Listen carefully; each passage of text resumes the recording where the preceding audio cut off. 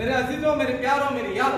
यारो आज इकतीस जून है और नौ दिन वर्कआउट करते हुए हमको हो गए अलहमदुल्ला नौ दिन के अंदर बॉडी को हमने चेंज किया और इसी अखाड़े के अंदर किया देसी वर्कआउट किया दंड बैठक अखाड़ा खोलना ज़ोर वगैरह।